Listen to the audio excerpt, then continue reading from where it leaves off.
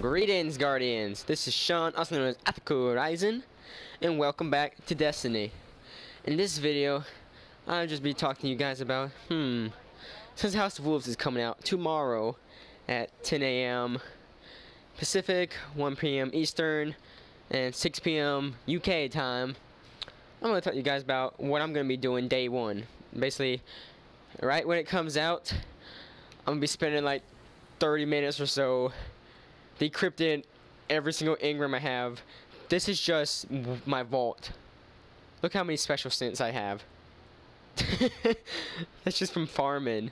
But I have two full characters with all of these slots full. All of these slots just full of engrams.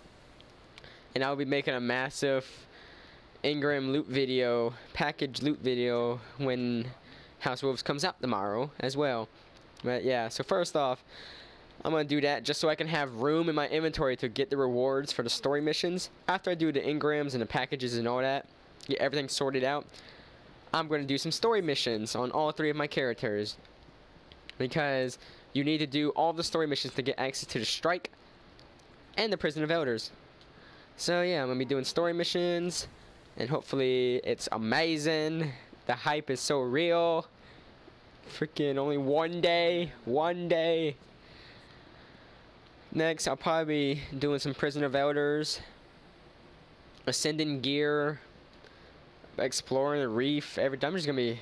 It's gonna be amazing. But yeah, the first three things I'm gonna be doing is engrams. Second thing, story. And the third thing, Prison of Elders. So yeah. What are you guys going to be doing day one when it comes out? Let me know in the comments below. If you enjoyed this video, leave a like. It is much appreciated. Subscribe for daily Destiny videos.